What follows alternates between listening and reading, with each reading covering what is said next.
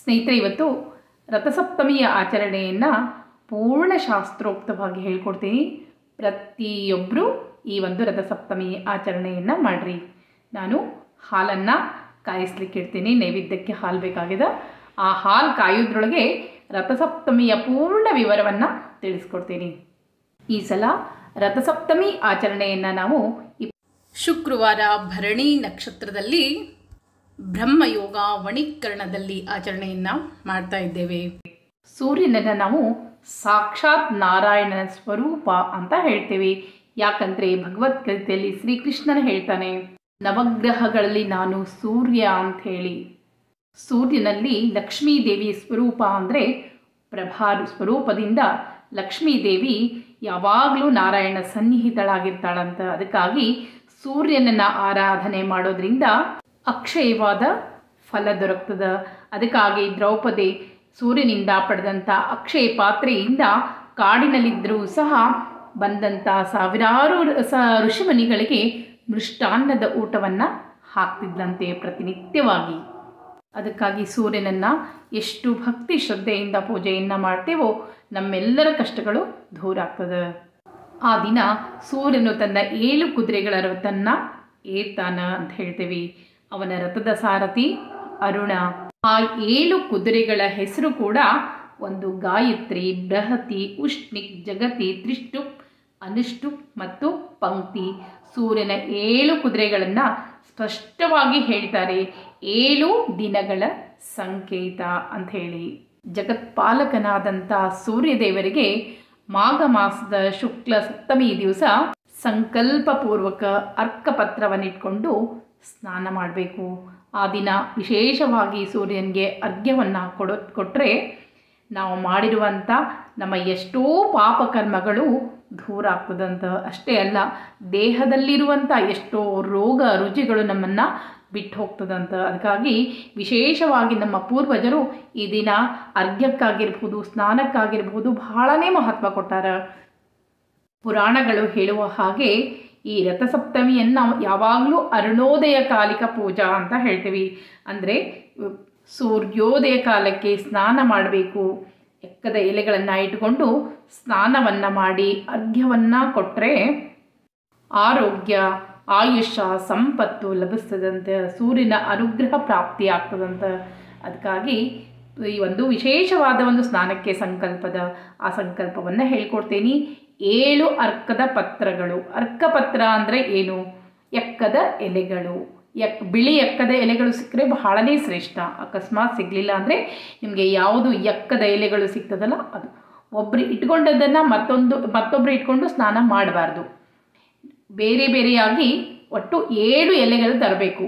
ಒಂದು ಒಬ್ಬರ ಹೆಸರಲ್ಲಿ ಏಳು ಎಲೆಗಳನ್ನು ತರಬೇಕು. ಮತ್ತೆ ಬೇರೆಯವರಿಗೆ ಮತ್ತೆ ಏಳು ಎಲೆಗಳನ್ನು ತರಬೇಕು. ಒಬ್ಬರು ಇಟ್ಕೊಂಡದನ್ನು ಇಟ್ ಇನ್ನೊಬ್ಬರು ಇಟ್ಕೊಂಡು ಸ್ನಾನವನ್ನು ಮಾಡಬಾರ್ದು. ಆ ದಿನ ಬೇಗ ಬ್ರಾಹ್ಮಿ ಮುಹೂರ್ತದಲ್ಲಿ ಎದ್ದು ಮನೆ ಎಲ್ಲ ಕಸವನ್ನು ತೆಗೆದು, ಸ್ವಚ್ಛವನ್ನು ಮಾಡಿ, ಅಂಗಳ ಕಸ ತೆಗೆದು ಎಲ್ಲ ಸ್ವಚ್ಛ ಮಾಡಿ ಬಾಗಿಲಿಗೆ ನೀರು ಹಾಕಿ ನಂತರ ತುಳಸಿ ಮುಂದೆ ಅಂಗಳದಲ್ಲಿ ಹೊತ್ತಿಲ ಮೇಲೆ ರಂಗೋಲಿಯನ್ನು ಹಾಕಿ ನಂತರ ಸ್ನಾನದ ಸಂಕಲ್ಪವನ್ನು ಮಾಡಿಕೊಳ್ಬೇಕು. ದೇವ್ರ ಮುಂದೆ ನಿಂತು ಕೈ ಮುಗಿದು ಹೇಳಬೇಕು, ಮಮ ಇಹ ಜನ್ಮನಿ ಜನ್ಮಾಂತರೇ ಚ ಸಪ್ತ ತೀರ್ಥಸ್ನಾನಂ ಕರಿಷ್ಯೆ.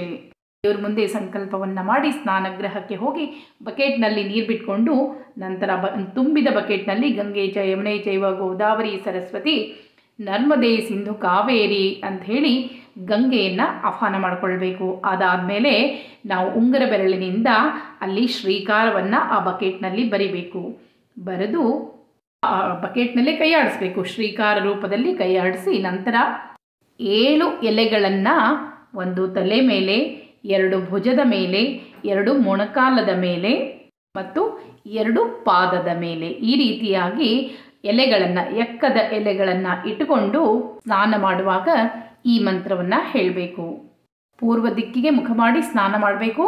ಮಾಡಬೇಕಾದ್ರೆ ಈ ಸ್ತೋತ್ರವನ್ನು ಹೇಳಬೇಕು. ಸ್ನಾನ ಮಾಡುವಾಗ ಮೂರು ಸಲ ಹೇಳಬೇಕು. ನಿಮಗೆ ಅಕಸ್ಮಾತ್ ಹೇಳಲಿಕ್ಕೆ ಬರದೇ ಇದ್ದರೆ ನೀವು ಕೇಳಿದರೂ ಸಾಕು. ಹೇಳ್ತೀನಿ ನೋಡ್ರಿ. ಯದ್ಯ ಜನ್ಮ ಕೃತಂ ಪಾಪಂ, ಮಯಾ ಜನ್ಮಸು ಜನ್ಮಸು, ತನ್ಮೇ ಶೋಕಂಚ ರೋಗಂಚ ಮಾಕರಿ ಹಂತು ಸಪ್ತಮಿ. ಏತ ಜನ್ಮ ಕೃತಂ ಪಾಪಂ, ಎಚ್ಚ ಜನ್ಮಾಂತರಾರ್ಜಿತಂ ಮನೋವಾಕ್ಯಾಯಜಂ ಎಚ್ಚ, ಜ್ಞಾತಾಜ್ಞಾತಂಚ ಯತ್ ಪುನಃ ಇತಿ ಸಪ್ತವಿಧಂ ಪಾಪಂ ಸ್ನಾನಾನ್ಮೇ ಸಪ್ತಸಪ್ತಿಕೆ ಸಪ್ತವ್ಯಾಧಿ ಸಮಾಯುಕ್ತಂ ಹರಮಾಕರಿ ಸಪ್ತಮಿ. ಈ ರೀತಿಯಾಗಿ ಮೂರು ಸಲ ಹೇಳ್ತಾ ಸ್ನಾನವನ್ನು ಮಾಡಬೇಕು. ಅಭ್ಯಂಗ ಸ್ನಾನವನ್ನು ಮಾಡಿ ಅರಿಶಿನ ಕುಂಕುಮ ಹಚ್ಕೊಂಡು ಸೂರ್ಯನನ್ನು ನೋಡಿ ನಮಸ್ಕಾರ ಮಾಡಬೇಕು. ಮಾಡಬೇಕಾದ್ರೆ ಈ ಮಂತ್ರವನ್ನು ಹೇಳಬೇಕು. ಜನನಿ ಸರ್ವಲೋಕಾನಾಂ ಸಪ್ತಮಿ ಸಪ್ತಸಪ್ತಿಕೆ ಸಪ್ತವ್ಯಾರತಿಕೆ ದೇವಿ ನಮಸ್ತೆ ಸೂರ್ಯಮಂಡಲೆ. ನಮಃ ಸವಿತ್ರೆ ಜಗದೇಕ ಚಕ್ಷುಷೆ, ಜಗತ್ಪ್ರಸೂತಿ ಸ್ಥಿತಿ ನಾಶಹೇತವೆ. ತ್ರಯಾಮಯಾಯ ತ್ರಿಗುಣಾತ್ಮ ಧಾರಿಣೆ, ವಿರಿಂಚಿ ನಾರಾಯಣ ಶಂಕರಾತ್ಮನೆ ಅಂಥೇಳಿ ನಮಸ್ಕಾರವನ್ನು ಮಾಡಬೇಕು. ನಂತರ ಮನೆಯೊಳಗೆ ಬಂದು ಸೂರ್ಯ ರಥ ಏರಿದ ಚಿತ್ರವನ್ನು, ಸೂರ್ಯನ ಒಂದು ಚಿತ್ರವನ್ನು ಹಾಕ್ಕೊಳ್ಬೇಕು ನಂತರ ಅಲ್ಲಿ ಒಂದು ಕೃಷ್ಣನ ಮೂರ್ತಿಯನ್ನು ಇಟ್ಟು ಪೂಜೆಯನ್ನು ಮಾಡಬೇಕು. ಪೂಜೆಗೆ ಒಂದು ಸಂಕಲ್ಪಾದ ಆಮೇಲೆ ಹನ್ನೆರಡು ಅರ್ಘ್ಯವನ್ನು ಕೊಡಬೇಕು. ಎಲ್ಲವನ್ನ ವಿಶೇಷವಾಗಿರುವ ಒಂದು ಸೂರ್ಯನ ರಥ ಏರಿದ ಒಂದು ಶ್ಲೋಕ ಆದ ಆ ಶ್ಲೋಕವನ್ನು ಹೇಳೋದು.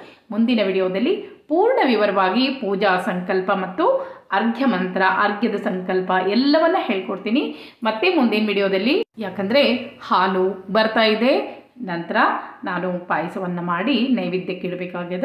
ಮತ್ತೆ ಮುಂದಿನ ವಿಡಿಯೋದಲ್ಲಿ ಪೂಜಾ ಮಂತ್ರ ವಿವರ ಎಲ್ಲವನ್ನ ಹೇಳ್ಕೊಡ್ತೀನಿ, ಅರ್ಘ್ಯ ಮಂತ್ರವನ್ನು ಹೇಳ್ಕೊಡ್ತೀನಿ. ಮುಂದಿನ ವಿಡಿಯೋದಲ್ಲಿ ಮತ್ತೆ ಸಿಗ್ತೀನಿ ಸ್ನೇಹಿತರೆ. ನಮಸ್ಕಾರ. ಪ್ರತಿಯೊಬ್ಬರು ತಪ್ಪದೇ ಆಚರಣೆ ಮಾಡಿರಿ.